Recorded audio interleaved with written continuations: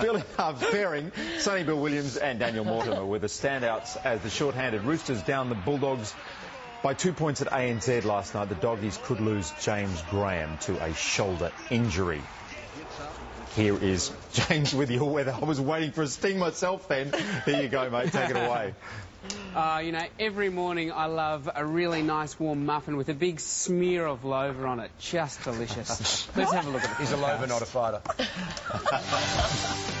Weekend sunrise weather, proudly brought to you by Steggles. Ideal conditions for a Steggles family roast.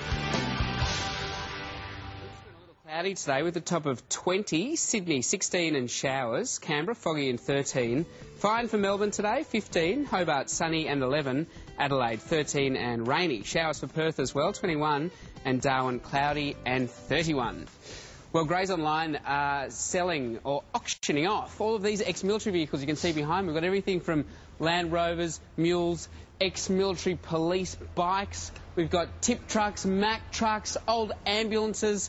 It's all on offer. Now, Sammy, we were talking earlier about these Land Rovers. I know you're not convinced, and you asked about the cup holders. Yeah. Because you're right, they don't have any of the mod cons. There's no aircon, there's no GPS, there's no entertainment system. But look at this. This is where the butt of the rifle sits. now, I reckon you could fit a soy caramel latte with uh, one half equal in there. it might, And probably a And it- muffin and with it's- look- Schmidlofer on it next to it. and if it sort of, if it all just goes everywhere, you just hose it out. It, that's what's so beautiful about these things. Um, Clayton has written to Have us saying the you? Army Unimog truck, which I think is that one, uh, has eight reverse gears, eight forward gears, dual caliper Yes. four-wheel disc Come brakes. out, the handbrake has three positions. Tank capacity is 160 litres, which gives you a range of 550 k's. They're 30 years old and they still use them today. Stop turning me on, Sammy. Um, that's the Unimog over there.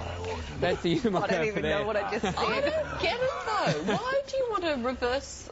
Don't you just reverse? Don't you once? want- I would love what to do be able you to mean reverse. What do you times? mean? Well, you might have to Occasionally, Back out of occasionally you want to reverse as steep fast as you go forward. Yeah. That's right. Well, it's like that old joke about the Italian army tanks, isn't it? With five gears. They've got four in reverse and one forward in case they get attacked from behind.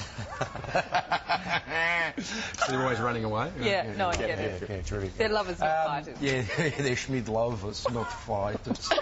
um, thank you, JT. Thank you, JT. See you tomorrow. I want to know, can you get, I mean, is it terrestrial vehicles only, or can we pick up a little submarine or something? Oh, that'd be good. Oh. Um, Keith Silver wanted a submarine. Let's check it out.